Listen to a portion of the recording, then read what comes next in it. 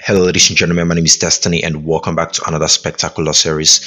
And we will go through the authentication process using Django and React in this tutorial series, from project setup to Git setup to back-end configuration to JWT access refresh token configuration to building of APIs and private route endpoints. Then we'd start working on the front end using React, set up our project, implement route guards, preserving user information on the browser, and pure React hook without any use of Redux. So these are what we'll be covering in this series and this video will be broken down into two parts the front end which will be the one that we're going to use to set up the client side and do everything that we need to do with react and also the back end which would which would be the one where we're going to be creating the apis using django and django rest framework. It will really mean the world to me. If you like this video left a comment and thought about subscribing. Additionally take a look at the links in the description. One of them such as the django youtube clone course may actually assist you in becoming a professional developer. So without any further ado let's go ahead and get started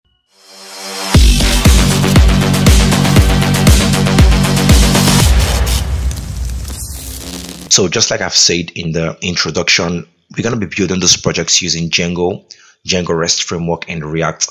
And trust me, if you don't have any knowledge about React or any knowledge about Django or Django REST framework, I'm going to hold your hands and take you from the very, very basic and beginning of Django and Django REST framework to an intermediate level in Django, Django REST framework and React.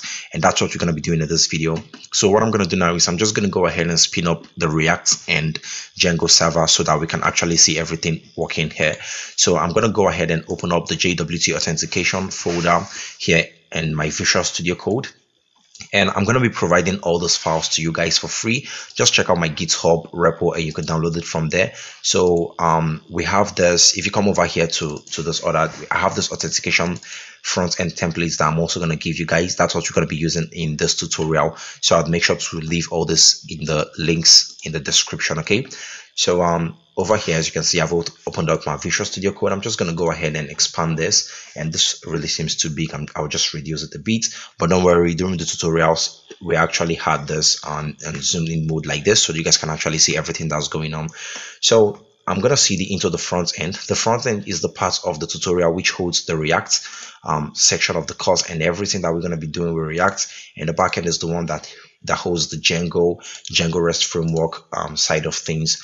So for the React, I'm simply going to hit npm start. Then this is going to go ahead and start spinning up a new server for React. As you can see, this is running over here. And while that's also running, I want to go ahead and create a new Django command and um, I could just put this side by side so we can see. Okay as you can see that's opening up react already. So I could just put this side by side so we can see everything that's going on. My react is starting the development server. And while that's still going, I'm going to go ahead and CD into backend. So I CD into backend, and that's going to help me run Python manage py run server. So just like you guys already know, Python manage py run server is pretty much going to go ahead and spin up the Django server, while npm start is going to go ahead and spin up the React server. Okay, there you go. My Django server is running now. If I come over here and I'm going to close this off, what do you notice? We have this really, really basic, good looking page over here. So right now, a user is not logged in. As you can see, that's why we don't have um, any we don't have like the logouts or the other buttons that always show up when a user is logged in but instead we have login and register so right now if we hit the login button as you can see we get to this page even without refreshing the page and everything was really fast and awesome so we have this um, nice looking login page over here that I've created for you guys that we could use to actually um, test run everything that we're going to be doing in this project. So we have this login page over here. We also have this register page over here and we have this home page. Okay. So the first thing that we're going to do as usual is just go ahead and create a new user. But before we do that, what I want to do is go ahead and log into my Django admin. So I'm just going to come over here, come over to port 8000 by Django admin and I'm just going to go ahead and log into my Django admin. So I have already created a super user. It's it's left to you to go um, ahead and create a super user from your Django terminal. Just run Python manage.py create super user, fill in all the details and information, and we're going to go ahead and create a super user for free. So in this tutorial, we actually added a functionality where users are going to be able to log in with their email and password. So when you come over to React, as you can see over here, while creating an account for a user, we, we ask for their email, we ask for their username, we ask for their password, and we ask them to confirm their password. Also, if you check out the login page, you can see that we are asking them to log in using their email address and their password and then not doing is the default way that Django usually um, do its using username, but instead we are doing it using email address to actually make things more, you know, more professional and modern.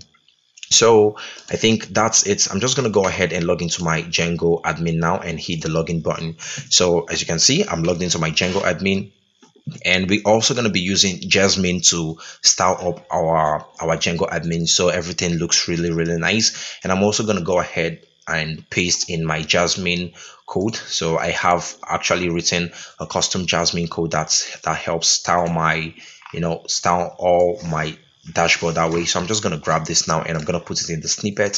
So if for any reason you're looking for the Jazzmin code, this is it over here.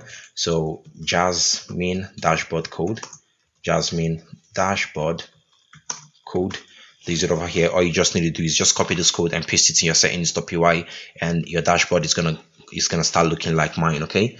So now we have this i'm to come over to user and this is our database over here or we can say this is where we can see things that are in our database. So as you can see we've got um, a couple of users over here um, about five user or so. We can go ahead and delete the ones that we don't want. These are the users that we have. So what i want to do now is i'm just going to come over here come over to register now and i'm going to try creating a new user. So let's say this is the user's email and let's say we want to call their username. I don't know let's just say karen. And for the email let's say i want to name them karen at I don't know, let's say gmail.com, but you can still use mailinator.com. And if for any reason you need this extension that I'm using over here, it's called Form Filler. Okay, so you can just go ahead and download the extension. So we fill in their email, their username, their password one, their password two, and hit register. What do you notice? This automatically registers the user and says registration successful, login now. So it redirects back to the login page. And right now, if we come over to the Django admin and refresh, what do you notice? We have a new user saved in the database. We have, if you open this up now, you can see their password is already hashed. You can see their username, you can see their email. So we are actually communicating from React to Django and everything is working perfectly well. Okay. So right now I'm going to go ahead and try logging in with um, the accounts that we just created now. So remember it's karen at gmail.com with the password testing321. So testing321. Now let's start off by making a mistake over here. Or let's say we want to log in with um actually a wrong email address that doesn't exist and we hit login. Now what you notice it says username or password does not exist. So actually error checks also works here. Okay. So if for any reason you're trying to log in with um an information that doesn't exist, then it's not going to work as you can see.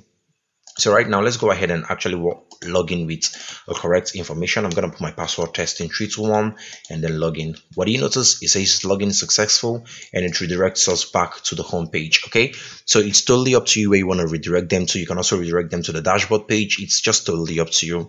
So right now, we can come over to the dashboard page and um, we can see a couple of things. As you can see, congratulations, your API just responded to a post request we text hello buddy and what do you notice it actually calls the name of the logged in user so I've actually built this project in a way that you can even go ahead and put in the image of the user that just created an account over here and everything have been set up in this project. It's just that I didn't actually see any cool place to add up the image, but there is already a functionality to add up the image. Okay. Just like we already have this name over here. We have all this. Um, congratulations, your API just responded to this. We have this text that's coming from the back end.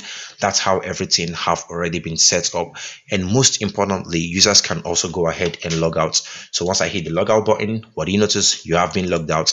Then we get back to the login page. And if for any reason we try accessing those pages that are already, um, you know, that needs you know, like some like a private route or that is authenticated. As you can see, it's not going to allow us, but instead it's going to push us back to the login page. So if for any reason we're trying to access the dashboard and the dashboard must be accessed if only a user is logged in what do you notice? It pushes us back to the login page. So if the user doesn't have an account, they can go ahead and create a new account. And um, I also can go ahead and log in now.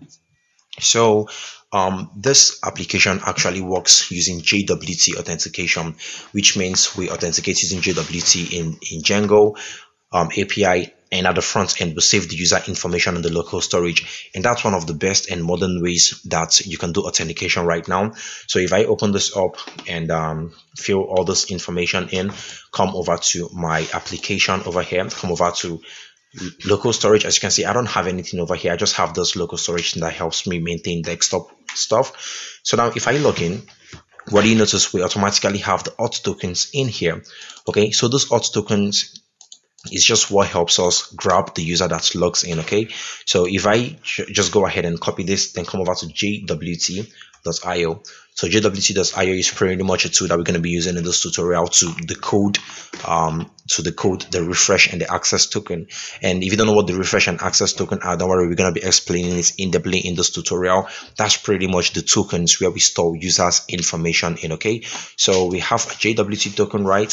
If I paste that JWT token here, what do you notice? I get the user ID, I get the full name, but right now he doesn't have any full name. I get the username, I get the email, I get the bio, I get the image, and I get if the user is verified or not. So this is perfectly working as we expect it to. Right now that we are logged in, if we try accessing the dashboard page again, what you notice right now, we can come over to the dashboard page successfully. So I think that's pretty much it. Everything is working perfectly well. I'm also going to be showing you guys how to implement Sweet alerts so that if we log in, we can see this really responsive alerts thing show up over here. If you come over to register and try creating a new user, and um, well, let's say you just put in their username as something and hit register, we can see the Sweet alerts thing showing up over here. So I think that's what you're going to be creating in this tutorial. And for any reason you might be asking in Django, what kind of um, code we will be writing? Would it be the function based view it be the class based view? So I'm just quickly going to go ahead and hop into my Django API, then views. And as you can see, I'm, I'm also going to reduce this. It seems really big for now. So if you take a close look over here, then you're going to see that we are writing class based views, right? As you can see, we wrote class-based views over here. We also wrote class-based view over here. And I also changed things up and I wrote a function-based view. So in this tutorial, we're going to be mixing things up with function-based view and class-based view. And if you even take a close look at this code, then you see that this is not even much. This is just a very short code in the views. And if you come over to the URLs, as you can see, very short code in the URLs and the serializer, also a very short code.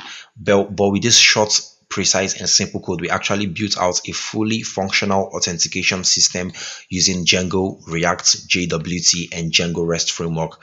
So that's what we're going to be doing in this video. Do make sure to drop a like, consider subscribing as it would really mean the world to me.